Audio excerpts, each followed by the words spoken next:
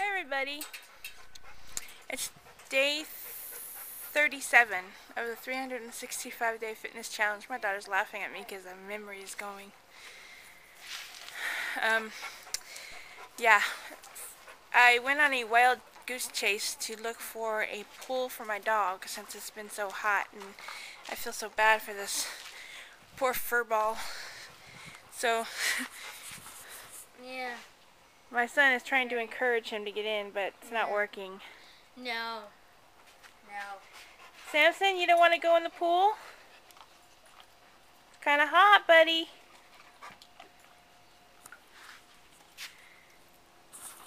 I don't think it's going to happen anytime soon.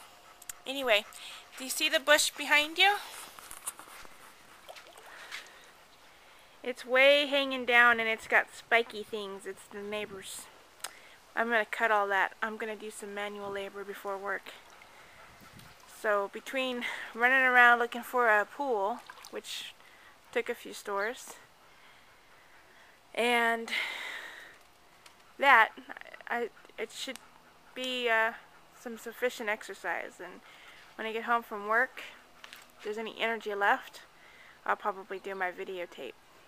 But for now, the hard labor is going to have to uh, work. So I'm going to get busy. See you later. I did the best I could. Not only did I get a, a little bit of a workout, but my shoulder, my bad shoulder did too. I'll be sore the rest of the night. it's alright. I'm tough.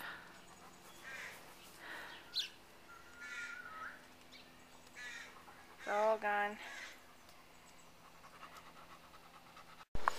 Okay, so cutting the tree, or cutting the, you know, the overflow of that tree only took me about 10 or 15 minutes, so I still have a little bit of time left before I have to get ready for work, so I'm going to go for a bike ride. So, see you soon. Bye.